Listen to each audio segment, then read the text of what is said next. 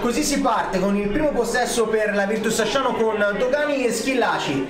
Calderini a cercare lungo, subito Boccini, Boccini nel rigore, Simone Boccini, attenzione Boccini intero! Grande parata di Arrais. Gli fa buona guardia. Una buona break di Schillaci, attenzione, Schillaci! Per Ippolito, Ippolito ne salta uno, Ippolito in area di rigore, serve spada, cross in mezzo a cercare Boccini sul secondo!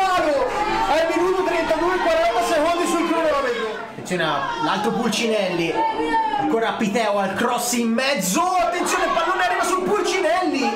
Parte, parte Piteo che fa un velo e poi la traversa da parte di Fabiani.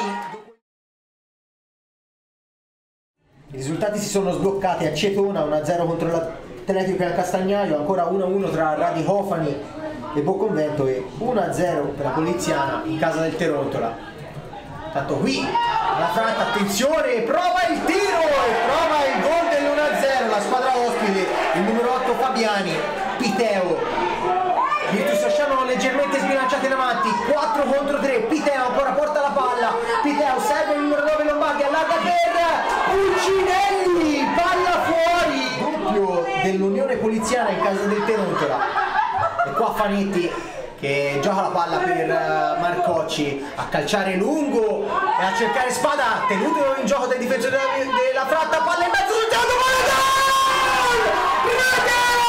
Simone Boccini! 1-1 Virtus Sancero!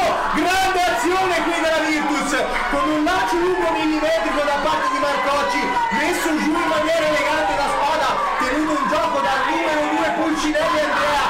si accentra Alessandro Spada e con il sinistro mette un pallone millimetrico per Boccini che a due passi dalla linea di porta non può sbagliare a questo giro. 1-1 sul, sul cronometro che segna 68 buono ci, ce lo meriti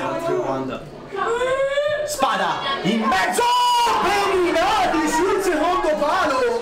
Trenino in aria. Cantella lontana in qualche modo però arriva Pulcinelli al tiro. Bindi miracolo di Marco Bindi Potente e piazzato. Grandissimo Bindi. ancora il calcio d'angolo attenzione al girone di testa Bindi di nuovo! Bindi grande parata nel giro di 30 secondi. Boccini continua il pressing de... attenzione Bindi errata all'uscita. Palla che rimane nei piedi di Fabiani prova a mettere la palla in mezzo! Ma poi arriva Dogani che allarga per De Santis affrontato da Pulcinelli allontana fuori e finisce qua. 1-1 tra Virtus Asciano e Fratta Santa Caterina